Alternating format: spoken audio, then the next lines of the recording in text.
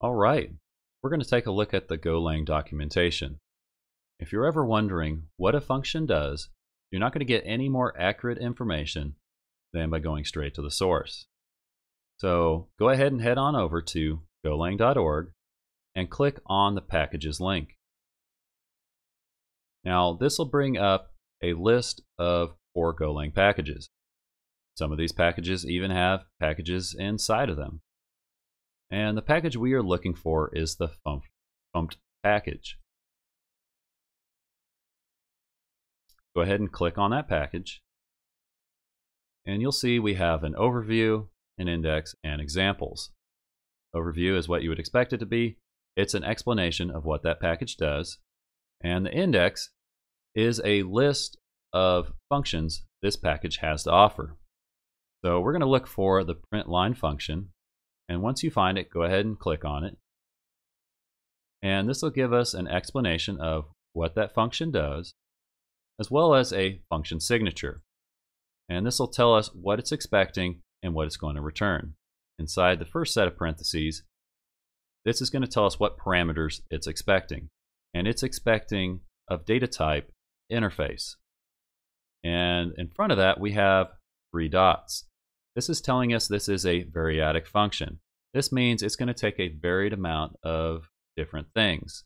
So we could pass it you know, one thing, we could pass it five, or we could pass it 10. Now behind the, oh, in the uh, second set of parentheses, this is going to tell us our return values. Here we can see it's going to return an int, and it's going to return an error. So to see this run, go ahead and click the example and just click run. And as we can see, it prints out Kim is 22 years old. So up here, inside the fmt package, which it's importing right here, it's going to use the print line function. And like we said, it's a variadic function, so it's taking one, two, three, four different things. So it's taking a name, or a constant, name, name, it's taking a string with the word is, it's taking another variable named age, and it is taking another string with years old. So it puts all that together and it prints it out here at the bottom as Kim is 22 years old. Now, one of the great things about about these examples is you can actually change the code and it will run. So let's go ahead and do that real quick.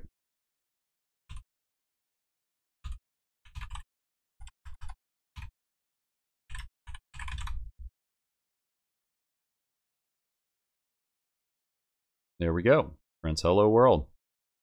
And you are not limited just to the package that you're exploring. If you wanted to bring in another package, you could do that and run functions from that package.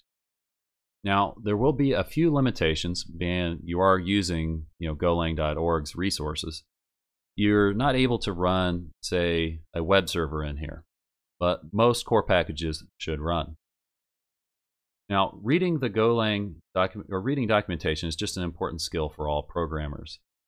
And let's say, for instance, you post on an answer, you know, a question answer site like, you know, StackOverflow.com.